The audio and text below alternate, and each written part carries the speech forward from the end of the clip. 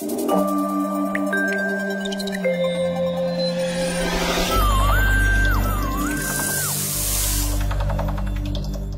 kijkers, goeiedag. De weerfoto van vandaag is afkomstig van Edwin Stuit uit Krimpen aan de IJssel.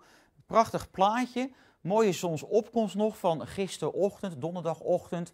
En we zien hier nog het MS Rotterdam. Inmiddels is die trouwens vertrokken uit onze prachtige Maastad richting de Canarische eilanden. En dit jaar komt hij nog één keer terug naar onze stad en wel op 20 december, s morgens om 8 uur, dan meert hij weer aan. Smiddags om 4 uur, dan gaat hij dan weer weg. Nou, de komende nacht hebben we te maken met nogal wat bewolking, afgewisseld door een paar opklaringen. De temperatuur die komt uit op zo'n 7 tot 9 graden. Het blijft erbij overal droog.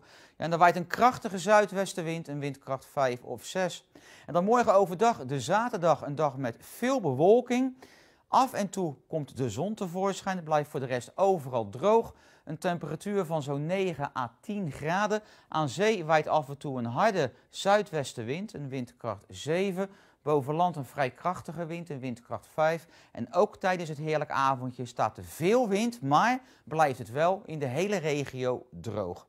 Nou, dat kan ik niet voor de zondag zeggen. Dan is het een bewolkte dag. In de loop van de middag vanuit het noordwesten kan er een beetje regen vallen of een bui, maar het gaat om kleine hoeveelheden.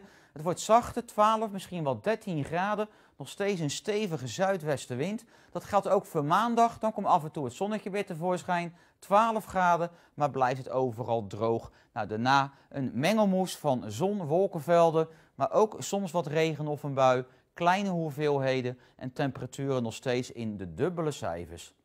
Besluit met een mooie weerfoto nog van Jeannette de Korte uit Maasluis. Toch ook een heel aardig plaatje met een uh, onschuldig wolkje, maar voor de rest ook veel blauw. Nou, dat zagen wij ook vandaag. Veel blauw. Nou, ik wens u nog een heel fijn weekend toe. Een prettige Sinterklaasavond en graag tot maandag.